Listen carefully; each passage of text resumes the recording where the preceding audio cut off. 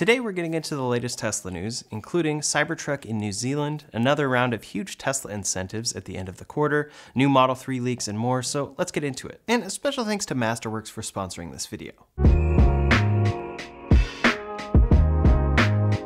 First up today, Mercedes-Benz is reportedly considering adopting Tesla's North American charging standard. NACS seems to be living up to its name, as we're seeing more automakers accept it as a standard. In the past few weeks, we've seen Ford and General Motors choosing to adopt Tesla's NACS connector for their vehicles beginning in 2025. Then other fast charging manufacturers have followed their lead, like Blink and ChargePoint. That's great news for owners of non-Tesla EVs, because many third-party fast chargers are largely unreliable. Converting to a more reliable standard could mean a better charging experience for all EV drivers. Stellantis, parent company of Chrysler, Dodge, Fiat, and Ram, among others, has also considered making the switch. Now Mercedes appears to be joining the list of supporters, which Elon is calling the NACS Coalition. According to a new report, they're evaluating a technical implementation of the connector, which would allow their vehicles to connect to Tesla superchargers. All of this aligns with Tesla's mission to, quote, accelerate the transition to sustainable energy, because that includes improving all EVs regardless of the company company, but it's also good for business. They're the operator of the most reliable and available fast charging network in the country, and maybe even the world, with over 45,000 stations worldwide. That advantage has not been unseen for other fast charger manufacturers who have struggled to keep up, and the EV makers that rely on these networks. It's actually gotten to a point where it looks like any EV that depends on a charging network outside of Tesla's will be at an absolute disadvantage moving forward. I've had less than ideal experiences with my Rivian R1T and the Mercedes EQS now, so this is definitely a welcome change. Amid this influx of support for NACS though, Tesla has raised the price of their at-home wall connector. Last year this charger was $500 and offering up to 11.5 kilowatts or 48 amps of output, and that was a pretty good deal. Then in December, Tesla dropped the price of this charger down to $350. A little over a month later, they raised it back up to $425. Now they've raised it another $50 to $475. Tesla has a reputation for pricing their products in accordance with the market, but we usually talk about this happening with their EVs, especially after huge price cuts. Now we're seeing the same thing with their chargers. With this widespread adoption comes an increase in popularity that they'll have to prepare for, so it follows that they would have to increase the price of this charger. They also can do so. For the future, they not only have to supply Tesla drivers, but now some Ford, GM, and maybe Mercedes drivers as well. The timing of this does seem a little suspicious, but it's still a great option for many customers. That said, this charger doesn't seem to have changed at all in recent years, so some customers customers may be disappointed by this price increase. This price increase is good news for Tesla's competition in the charging station manufacturing space because those companies' higher priced options are now more competitive. Next up today, Tesla is offering another huge discount on the Model S and X as we approach the end of the quarter. If you're in the market for one, it could be a great time to buy. Tesla has clearly been doing a lot to push sales of these cars, including a number of large price decreases over the last few months. More recently, they've added in a supercharger incentive. For any customers buying a new Model S or X, you'll get three years of free supercharging. Especially for those driving a lot and needing to charge on the road, this could be a huge money savings. Then, for those trading in a Model S or X that had unlimited free supercharging when Tesla was offering it, they increased that incentive to six years of free charging. Additionally, if you purchase a Model S or X using a referral code, like mine in the description below, you will receive 1000 off on the purchase and three free months of the FSD package. Those referring get 20,000 referral points compared with the usual 2,000. So Tesla has really been pulling out all incentives possible short of a price decrease until now. Now, on top of all of those, Tesla is offering huge discounts for cars in inventory. We've seen them do this with other vehicles, sometimes offering a maximum of $3,000 off, but for these pricey cars, cars, they're offering discounts up to $8,000. That's a discount for buying it in inventory and getting these vehicles off of Tesla's hands. Here we can see an inventory Model S that would normally cost $96,490, coming in at $88,260. It's a demo vehicle, so that is a consideration, but $8,000 is a lot. Similarly, for the Model X, here's a demo vehicle normally priced at $103,740, going for $94,050. It's not only demo vehicles though, with this non-demo Model X Coming in $7,500 under normal price. It also completely correlates with how Tesla's inventory is going. We've seen lots of Model 3 incentives since their inventory there in red has continued growing. For the Model S and X, in green and yellow respectively, they are now trying to keep those numbers dropping. We see this happen regularly as Tesla approaches the end of the quarter, but this time they're bigger incentives than before. My guess is that Tesla is having trouble selling the Model S and X due to how much the Model 3 and Y offer for a cheaper price. On top of that, the Model 3 is about to be refreshed, and most customers seem to know about it by now. It's always interesting to see Tesla adapt pricing and incentives at the end of the quarter because it clearly shows each area that they may be having a demand issue even if it only lasts for a couple weeks. It's becoming more and more common that if this car has been out for quite a bit, the end of the quarter may be worth waiting for. Three years of supercharging and a discount up to $8,000 is significant. On top of that, if you refer someone to buy a Model S or X, you'll get 20,000 referral points, which is 10 times more than Tesla offers for the Model 3 or Y. And as I mentioned, as a buyer, you get $1,000 $1,000 off and three months of FSD. It seems that that discount likely can't be stacked with a discounted inventory demo car, but it's unclear. Either way you swing it, there are great incentives for these cars as we approach the end of the quarter, and with around 10 days to go, we could see Tesla push discounts or incentives even more. Next up today, we have a new Project Highland Model 3 leak that confirms the rumors we've seen thus far. So far, we've seen quite a bit of the leaked Model 3, including updated interior, stockless steering wheel like the Model S, and an updated front end. That front end was also confirmed in another sighting by the Kilowatts, where the cover slipped a tad. The rear of the Model 3 has been covered up in all sightings, though, so the best look we've gotten was this illustration of how the trunk itself will look. That taillight design is much thinner, so renders of the car have imagined it looking something like this. It looks like the final design may not be as pointed as this render shows, but now we have what appears to be confirmation that this is the change coming for this car. A Project Highland Model 3 was spotted testing on the road, this time in white, and the cover was dislodged just enough in the back that we can see the new taillight design. When zooming in closely, we can see the white body of the Model 3 taking over right where the taillight ends. This is a big change from the current Model 3 taillight, aligns with leaks showing that the blinker is now vertical here, and aligns with the general idea of renders that we see here. It also makes a lot of sense why Tesla is covering up all areas except this small portion that is hard to tell apart from a current Model 3. Clearly, the refreshed Model 3 is coming soon. My prediction is that Tesla will launch it at their next earnings call with an updated website instead of having some sort of official launch event. It'll be interesting to see how they handle growing inventory as we approach the end of the quarter, though. I wouldn't be surprised if we see more incentives on top of the three months of supercharging that they're offering today. After all the stress the last few years have brought with shortages, crises, price cuts, and more, Tesla stock appears to be doing well once again, closing well over $220 recently. It's especially impressive given that it's one of seven companies driving the S&P 500. While Tesla stock can be exciting, there are other ways you may want to diversify, especially with the state of the market as a whole right now. Many, including Goldman Sachs, are shifting their strategy. A Bloomberg survey recently found that they are shifting from heavy stock and real estate allocations to, quote, safe haven assets. Another area of interest is collectibles, with the greatest allocation to art and more. That could explain last fall's booming auction season, which was the richest art auction season in history. Many are shifting with the help of today's sponsor, Masterworks. Masterworks allows almost anyone to invest in blue chip contemporary art without needing to spend millions. Over 730,000 people have signed up so far, and with their popularity, there may be a waitlist, but you can skip the line by clicking the link in the description below. Check them out. For the Cybertruck, we have a small update. Recently, we have seen Tesla testing the Cybertruck prototype with a new camera wrap.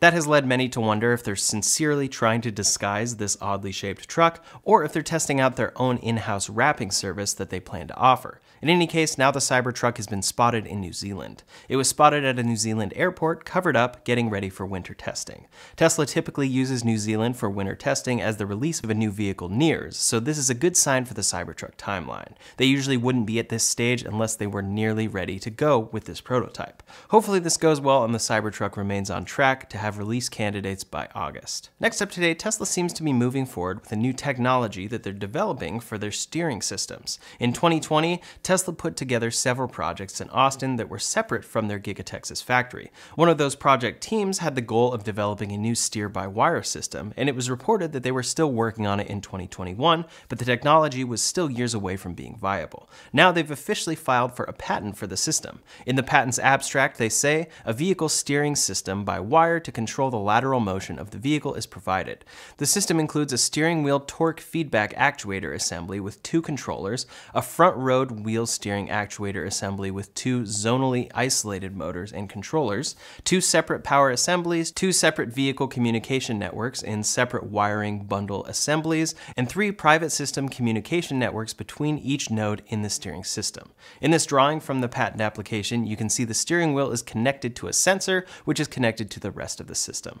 Basically, the objective of this system is to eliminate mechanical linkages in the steering system and rely on electrical or electromechanical systems for steering instead. Tesla and other automakers have already implemented similar systems as part of their self-driving features, like autopilot and FSD, but they still have a mechanical link to their steering systems. One concern with implementing this tech in the steering system itself is that the electrical system could be prone to faults. If your autopilot stops working, you can just take over manually, but if your steering system goes out, that poses a serious risk. For that reason, many regions still require the steering systems of registered vehicles to be mechanical. Tesla calms this concern though, going on to say the redundant components are zonally isolated such that common cause of faults do not endanger the system when one or more of the components fails. This system has the potential to be more efficient and offer better steering while allowing Tesla or anyone else who uses this tech more flexibility in the way they design a car's cockpit.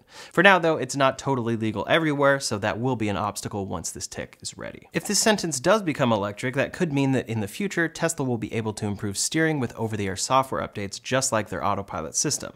That poses its own set of concerns, as not all updates have actually been improvements, but as we've seen in the past, Tesla is quick to rectify any mistakes they make. Overall, I'm excited to see this technology come to market through Tesla because it opens doors for new designs and better efficiency in the future. Next up today, Tesla has reached a new milestone with their Powerwall deployment and VPP program. They've installed 500,000 Powerwalls worldwide, and that number is growing fast. Home battery packs are becoming more popular every year, and Tesla has a lot of competition in this sector, but they still own a large share of the market. Tesla first introduced their first home battery in 2015, but sales didn't pick up until 2016 when they introduced the Powerwall 2.